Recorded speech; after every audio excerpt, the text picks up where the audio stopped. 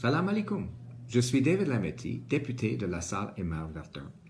Je veux profiter de l'occasion pour vous souhaiter, à vous et à votre famille, un joyeux Eid. Over the last month, Muslims across La Salle Aymar Verdun and across Canada have fasted from sunrise to sunset and have taken the opportunity to engage in a deep spiritual reflection. It is now time for Eid al-Fitr, the feast after the fast. Il s'agit d'une période de réjouissance pour les amis et les membres de la famille et d'une occasion de penser aux autres. À tous nos amis et voisins musulmans qui observent la fin de ce mois sacré, je vous souhaite Eid Mubarak.